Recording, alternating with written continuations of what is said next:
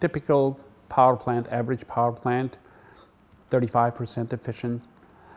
Depending on the location, the losses in the transmission distribution might account for another 10%. Bloom at, at the output, add the input into the, into the PDU or input into the, uh, into the server, averages about 52%, starts in the low 60s, 61, 62%. It's a two to one, three to one maybe uh, improvement in overall efficiency.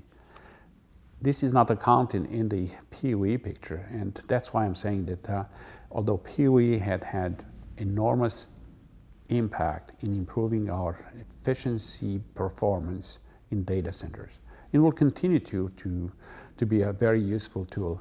I think that we got to the point right now where we are uh, approaching the level of diminishing return when it comes to PUE. Uh, how much lower can you get below 1.1 or so? I think that we can achieve a lot more with lower, lower cost, better performance by addressing the, the IT piece, whether it's software, virtualization, uh, or hardware, or on the other side of the meter, distributed generation and how we bring power to the facility.